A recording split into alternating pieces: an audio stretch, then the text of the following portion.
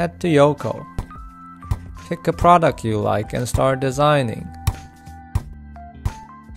Once you're done, save to template. Under the column Operation, click on More. Find Copy to. Products that can be synced with your design will pop up right away. Choose any products you want and press on Create. You'll want to hit Refresh to check the synced products, as it might take a few seconds to load. Click on Edit, and you'll be able to make adjustments on each one.